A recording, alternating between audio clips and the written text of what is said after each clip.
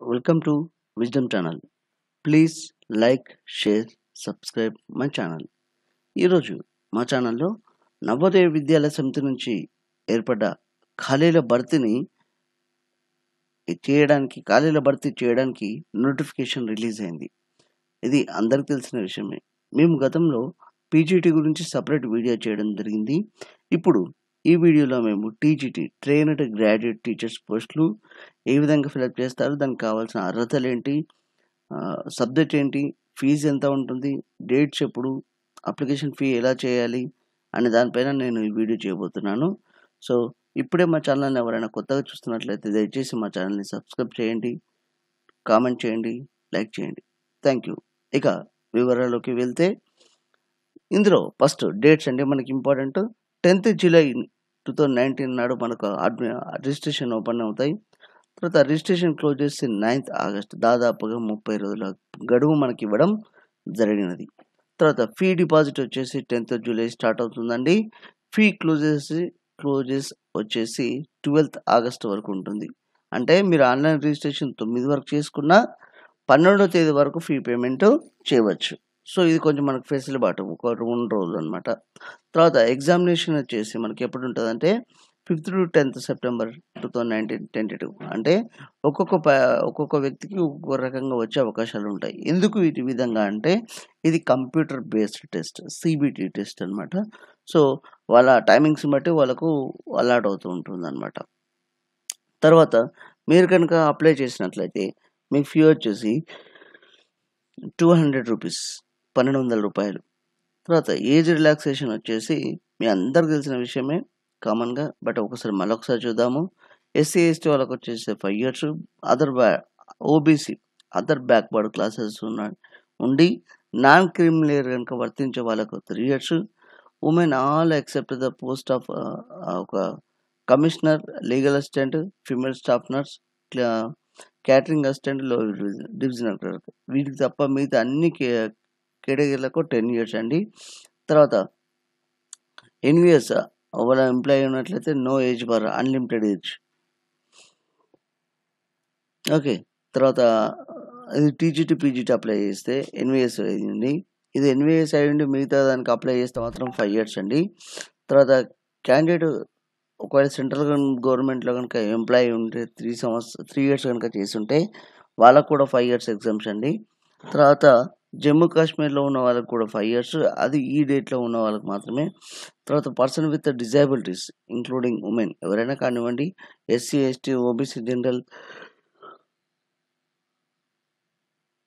SC ST వాళ్ళకైతే person with disability ఉన్నట్లయితే పదిహేను సంవత్సరాలు ఓబీసీ ఉన్న వాళ్ళు థర్టీన్ ఇయర్స్ జనరల్ ఉన్న వాళ్ళు టెన్ ఇయర్స్ సో మనం ఇక మనం పోస్టుల సంఖ్య కనుక మనం వెళ్ళిన వెళ్ళినట్లయితే ఇక్కడ చూడండి ఇంగ్లీష్ టీజీటీ ఇంగ్లీష్ దీనికి ఏముందంటే unreserved one twenty nine EWS and economical weaker sections వాళ్ళకేమో పద్నాలుగు పోస్టులు అదర్ బ్యాక్వర్డ్ క్లాసెస్ డెబ్బై ఐదు పోస్టులు షెడ్యూల్ క్యాస్ట్ నలభై ఒకటి షెడ్యూల్ ట్రైబ్ ఇరవై పోస్టులు మొత్తం రెండు వందల డెబ్బై తొమ్మిది పోస్టులు ఉన్నాయి ఇంగ్లీష్ వాళ్ళకి.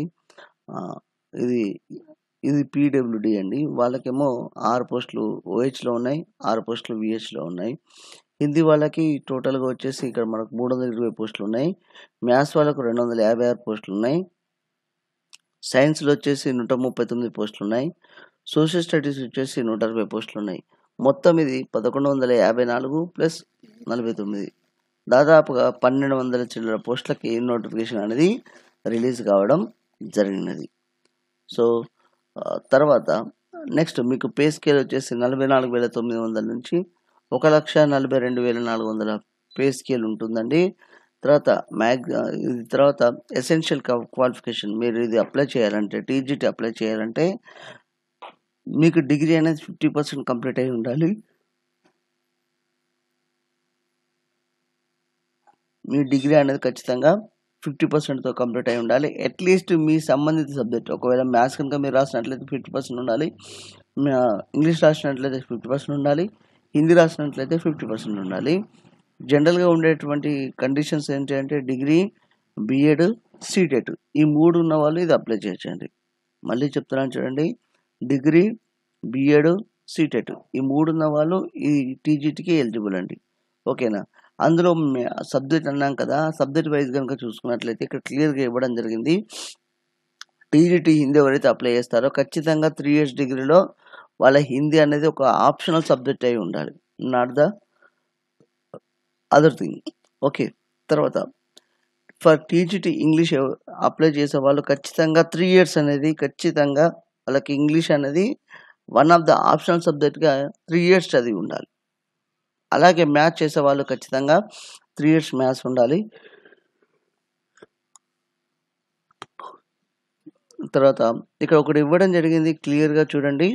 Who candidates with BSc honours in physics or chemistry are not eligible for the post of TGT maths ఇది ఒక క్లియర్గా చెప్పడం జరిగింది. సో అభ్యర్థులు గమనించగలరు. తర్వాత టీజీటీ సైన్స్ అప్లై చేసేవాళ్ళు botany zoo zoology and chemistry చేసేవాళ్ళు. ఈ మూడిట్లలో ఏవైనా రెండు ఖచ్చితంగా మీ త్రీ ఇయర్స్ డిగ్రీలో ఖచ్చితంగా ఉండాలండి. అట్లా ఉంటేనే మీకు ఎలిజిబుల్ ఉంటుంది. తర్వాత టీజీటీ సోషల్ స్టడీస్. టీజీటీ సోషల్కి అందరికీ తెలిసిన విషయమే మీ డిగ్రీ అనేది ఖచ్చితంగా history with geography economics political science అనేది ఉండాలి. లేదా geography with history economics political science అయి ఉండాలి. ఇందులో ఇందులో ఖచ్చితంగా ఈ మూడు నాలుగిట్లలో ఒక రెండు సబ్జెక్టులు కనుక మీకు ఉంటేనే మీకు టీజీటీ సోషల్ స్టడీస్ అనేది ఎలిజిబుల్ ఉంటుంది.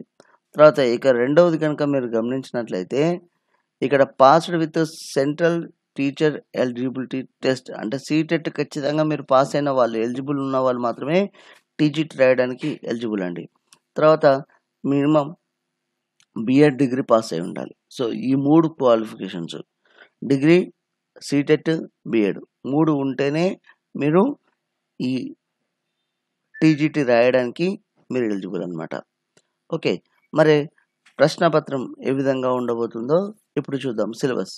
Okay first part one వచ్చేసి రీజనింగ్ ఎలిజిబిలిటీ ఎలిజిబిలిటీ ఉంటుందని. టెన్ క్వశ్చన్స్ ఉంటాయి టెన్ మార్క్స్ ఉంటాయి.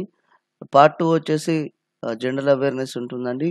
టెన్ క్వశ్చన్స్ ఉంటాయి టెన్ మార్క్స్ ఉంటాయి.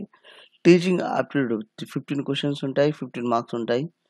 సబ్జెక్ట్ నాలెడ్జ్ వచ్చేసి అంటే మీరు ఏదైతే మ్యాథ్స్ అప్లై చేస్తే మ్యాథ్స్ సంబంధించి ఇంగ్లీష్ అప్లై చేస్తే ఇంగ్లీష్ సంబంధించి హిందీ అప్లై చేస్తే హిందీ సైన్స్ అప్లై చేస్తే సైన్స్ ఈ విధంగా అప్లై చేసిన వాళ్ళకి వంద క్వశ్చన్లకి వంద మార్కులు ఉంటాయి. మొత్తం వచ్చేసి one thirty five one one thirty five questions ఉంటాయి.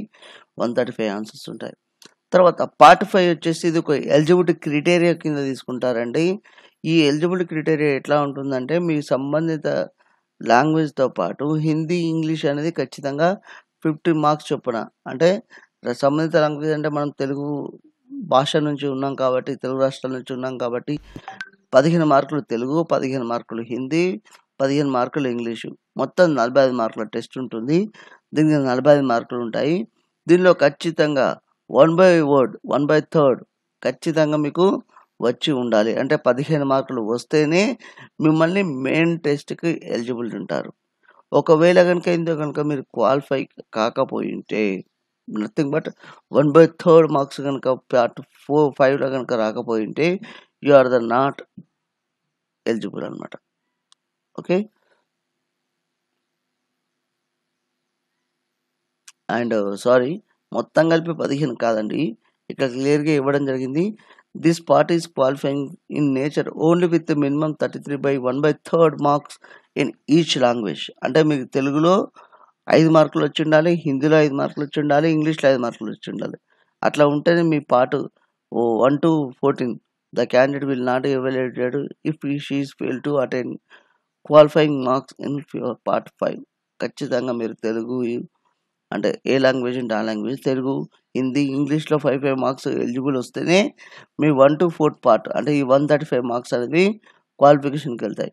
లేదు వాటిని మనకు ఎవాల్యుయేషన్ చేయరు. అందరికి తెలిసిన విషయమే. ఇవన్నీ ఎగ్జామినేషన్ వచ్చేసి ఎక్కడెక్కడ ఉన్నాయో చెప్తారు. ఇక్కడ చూడండి ఇక్కడ మనం పాట ఒక లాంగ్వేజ్ అన్నాం కదా ఆ లాంగ్వేజ్ ఏ ఉండే అవకాశాలు చూడండి. అస్సాం బెంగాల్ గుజరాత్ మనకు వచ్చేసి తెలుగు కూడా ఉందండి. ఎవరైనా మరాఠీ వాళ్ళు ఉంటే మరాఠీ వాళ్ళకు ఇంగ్లీష్ కూడా దాన్ని ఎంచుకొచ్చే అవకాశం ఉంది. మొత్తం నైన్టీన్ రీజియన్ లాంగ్వేజెస్ వాళ్ళు ఇవ్వడం జరిగినది. తర్వాత అప్లికేషన్ ఏ విధంగా చేయాలి అంటే మనకు మనం చెప్పుకున్నాం కదా అప్లికేషన్ డేట్ వచ్చేసి జూలై పది నుంచి స్టార్ట్ అవుతుందని. ఆ జూలై పది నుంచి మనం ఏ వెబ్సైట్కి వెళ్ళి చేయాలంటే చూడండి క్యా వెబ్సైట్ పేరు ఇక్కడ నేను కింద లింకులో కూడా ఇస్తాను చూడండి. WW dot Navodaya dot gov dot in లేదా WW dot NVS recruitment two thousand nineteen dot org org. ఇందులో మాత్రమే మనం ఆన్లైన్ అప్లికేషన్ చేయాల్సి ఉంటుంది. అది అప్లై కూడా ఏ విధంగా చేయాలో నేను వీడియో చేస్తాను. సో మా ఛానల్ని ఎవరైనా మళ్ళీ కొత్తగా చూస్తున్న వాళ్ళు దయచేసి సబ్స్క్రైబ్ చేయండి. ఎందుకు అంటే నేను చేసే కొత్త వీడియోలు మీకు తొందరగా మీకు డెస్క్టాప్ మీద కానీ ఫోన్లో కానీ అలర్ట్ రూపంలో మేము ముందుకు వస్తాయి. So thank you very much for watching